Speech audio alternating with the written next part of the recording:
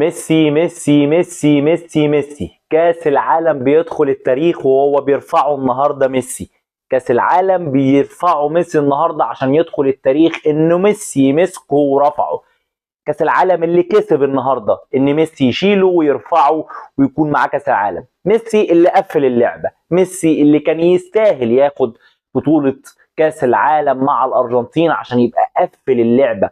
قفل اللعبة وعمل كل حاجة. كل البطولات اللي ممكن يكون شارك فيها خدها. اللعيب اللي متعنا وأمتعنا. لعيب روعة. لعيب لازم تبقى مبسوط إن هو ياخد كأس العالم. كان لازم ياخد كأس العالم.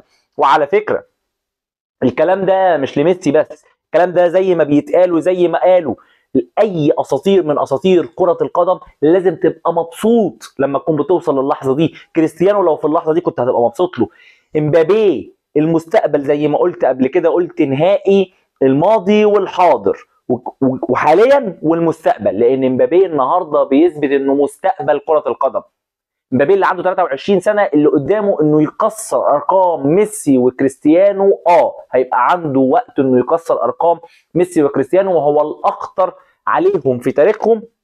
لأنه مستقبل أو ميلاد أسطورة كرة قدم هنشوفها في الجيل الحالي عشان نبقى عاصرنا أساطير كتير زي ما عاصرنا كريستيانو زي ما عاصرنا ميسي زي ما بنعاصر كيليان امبابي. ولكن خليني أقول لك إن النهارده خلينا ندي ميسي حقه. ميسي النهارده عمل كل شيء في كرة القدم. ميسي في البطولة دي لعيب عنده 35 سنة بيجيب ست أهداف ميسي بيصنع ميسي بيسجل ميسي بيعمل كل حاجة. مع منتخب خلينا نقول إنه مش أقوى حاجة في كل عناصره.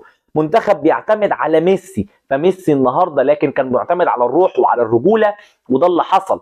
خلينا نقول إن ميسي دي بول مارتينيز هم دول من أكتر ثلاث لعيبة مؤثرة معايا في المنتخب بصراحة والواحد مبسوط للمنتخب كله ومبسوط لمنتخب الأرجنتين ومبسوط لميسي. الأرجنتين تستاهل وميسي يستاهل وكاس العالم يستاهل إن ميسي يرفعه.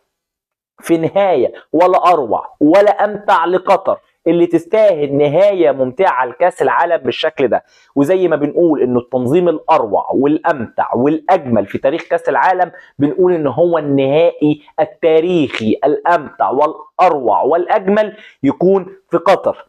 قطر اللي استضافت بطولة زي ما بنقول ما فيهاش غلطة. بطولة ما فيش حد لا عملها ولا حد هيعملها في المستقبل. بتنهي كأس العالم النهارده بمباراة تاريخية مش هتتكرر. أعتقد إن إحنا محتاجين يعني يعني زي ما بيقولوا كده عمر على العمر عشان نقدر نشوف نهائي بالشكل ده. نهائي بيخلص 2 2 نهائي بنشوف في ال extra time جونين فيه لكل فريق ضربات جزاء مثيرة. بنشوف كيليان امبابي وهو بيجيب هاتريك. بنشوف ميسي وهو بيصنع وهو بيسجل. بنشوف كل حاجة. وطبعا عشان ما ننساش دي ماريا اللي يستاهل هو كمان إنه يكون من اللعيبة اللي يكون دي نهايتها مع المنتخب الأرجنتيني. أعتقد النهارده نهاية جميلة للجميع. نهاية جميلة لميسي. نهاية جميلة للأرجنتين. نهاية ولا أروع لقطر. قطر اللي قالت للعالم كله إن إحنا نقدر. إن إحنا نقدر نعمل وفعلا. عملوا كأس العالم الأروع والأمتع عملوا كأس العالم الأفضل ونهوه بشيء روعة روعة روعة. والذكاء في تخليد صورة العباية العربية الأصيلة وميسي بيرفع كأس العالم التاريخي التاريخي اللي هيكون في كل صوره التاريخية وهو موجود بالعباية العربية الأصيلة. في لقطة من الإبداع القطري في فرض كل شيء بيقول التاريخ العربي الأصيل من حفل الافتتاح إلى لقطة النهاية وميسي بيرفع الكاس وهو لابس العباية العربية الأصيلة. كل شيء كان معمول حسابه من أول حفل الافتتاح إلى النهاية. كل شيء كان زي ما بيقولوا على المسطرة. قطر مفيش غلطة. قطر الأروع الأجمل. شيء ممتع يا جماعة النهارده أنت تلاقي أنت مبسوط بالحدث. إن كنت زعلان فأنت زعلان على إن حدث زي ده بيخلص النهارده. المتعة اللي إحنا كنا بنشوفها الإثارة اللي إحنا كنا بنشوفها في مباراه كاس العالم من المجموعات لدور ال 16 لدور الثمانيه لقبل النهائي. للنهائي شيء ممتع.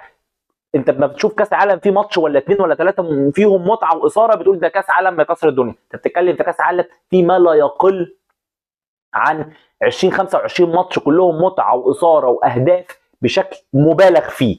بعيدا عن التنظيم وروعة التنظيم زي ما قلنا من حفلة البداية للنهاية من لقطة دخول الجمل النهايه بالعباية كل شيء بيتكلم عن العروبة بيتكلم عن عن تأصيل فكرة التراث العربي اللي زي ما بيقولوا بيتكلم فيه عن التاريخ العربي.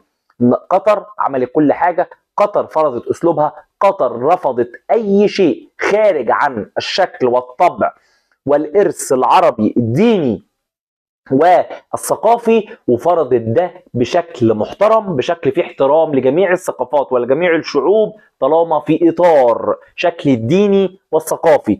قطر عملت كل شيء ولا أروع ولا أجمل ولا أحلى وخدت نهاية ولا أروع ولا أجمل ولا أحلى ولكن ميسي النهارده. ميسي يا جماعة النهارده خلاص قفل اللعبة قفلنا اللعبة. كل حاجة أنت عايز تقولها قولها. كأس عالم كوب أمريكا أبطال أوروبا دوريات في أي فرق هو لعب ليها آه كأس عالم للأندية آه سوبر بجميع أنواع السوبر كل اللي أنت عايز تقوله الراجل حقق. كل البطولات اللي أنت ممكن تتخيلها أو ما تتخيلهاش الراجل حققها. قفل اللعبة. ده لعيب قفل اللعبة. النهارده ميسي بينهي مسيرته الدولية لأن أنا مش مع إن في ناس بيقولوا إن هو المفروض يقدم يعلن اعتزاله دلوقتي أنا شايف إنه لأ الراجل دوليا أكيد مسيرته المفروض يقدم لأن هو خلاص أنا مش محتاج حاجة تاني وبنتكلم كأس العالم اللي جاي هيكون هو بيتكلم في 39 سنة أعتقد وحتى لو تم تطبيق كأس العالم كل سنتين فهيبقى 37 سنة لو عملوا النظام اللي هم بيتكلموا عنه أعتقد إن هو زي ما بيقولوا كده خرج من الباب الكبير في الشكل الدولي أعتقد إن الموضوع كده بالنسبة له خلص دوليا محتاجينه إن هو ممكن يلعب تاني. آه في أي بقى نادي إن كان باريس بيكمل مع باريس إن كان يرجع برشلونة ايا كان النادي اللي هو حابب يروحه يقعد بقى سنة كده ولا حاجة كمان الموسم نص الموسم اللي فاضل ده وموسم كمان يمتع نفسه بقى ويمتعنا ويدلعنا ويلعب بروقان إن أنا قاعد بلعب كورة زي ما بيقولوا كده إيه بدل ما أصحى الصبح اقعد في جنينة الفيلا أشرب شاي أنا بروح ألعب كام ماتش كده عشان أمتع وأدلع الناس. يعني بحط بقى الكريمة على التورتة اللي أنا عملتها.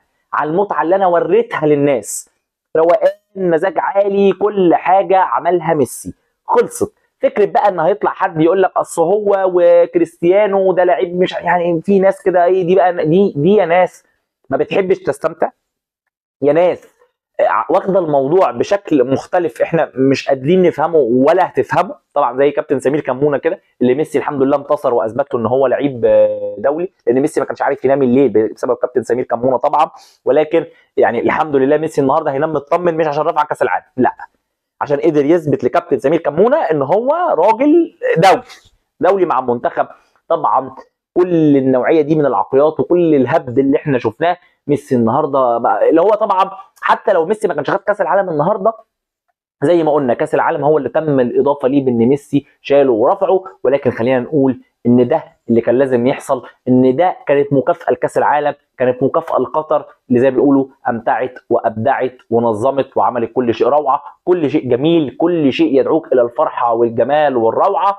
زي ما قلنا ميلاد أسطورة كرة قدم جديدة على خطى ميسي وكريستيانو رونالدو وهو كيليان إمبابي اللي النهارده أثبت إن أنتوا في نسخة رهيبة مش طبيعية هنشوفها الفترة الجاية من لعيب اسمه كيليان إمبابي اللي زي ما بنقول هو نجم ولكن النهارده هو دخل في إطار الأساطير لكرة القدم في سن 23 سنة. يعني أنت بتتكلم في حاجة هتفوق الخيال في الفترة اللي جاية. خليك فاكر كلامي ده كويس.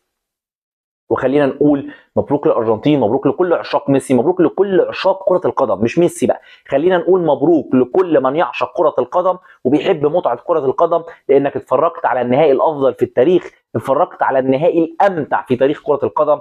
أعتقد إن النهارده كلنا اتبسطنا وكلنا تم مكافأتنا بحبنا لكرة القدم بمشاهدتنا للفرجة على نسخة كأس عالم قطر 2022 اللي هنفضل نحكيها لأجيال وأجيال وأجيال إن إحنا شفنا النسخة الأفضل والأمتع في تاريخ كرة القدم. مبروك لينا مبروك للأرجنتين مبروك لميسي مبروك لكأس العالم اللي ميسي النهارده رفعه ومبروك لقطر التنظيم الأروع والأجمل والأمتع.